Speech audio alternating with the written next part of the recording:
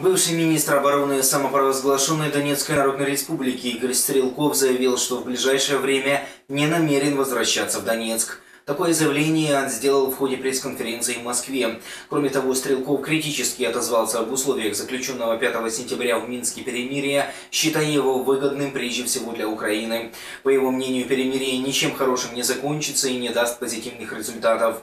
Он сообщил также, что не знает, кто сбил 17 июля малазийский Боинг 777 на территории Украины, так как в то время руководил вооруженными силами ДНР, а расследование случившегося должны проводить специальные органы.